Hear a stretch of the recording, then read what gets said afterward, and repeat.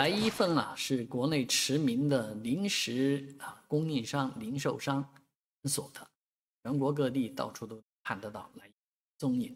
而实际上，大家也都知道，来一份的总部就在这个松江九里亭地铁站那里，而他在仓仓库呢，就在九星公路南九亭那边啊。他利用这个仓库呢，建了一个临时博物馆。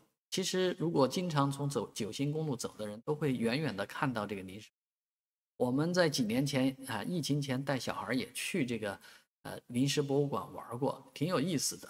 当然，小孩更喜欢的是户外的那些乐设施啊，而这个场内的一些东西不是特别感兴趣。而最近呢，这个来一份临时博物馆对这个内部啊做了这个更新啊，展陈是更加的科学，更加的漂亮。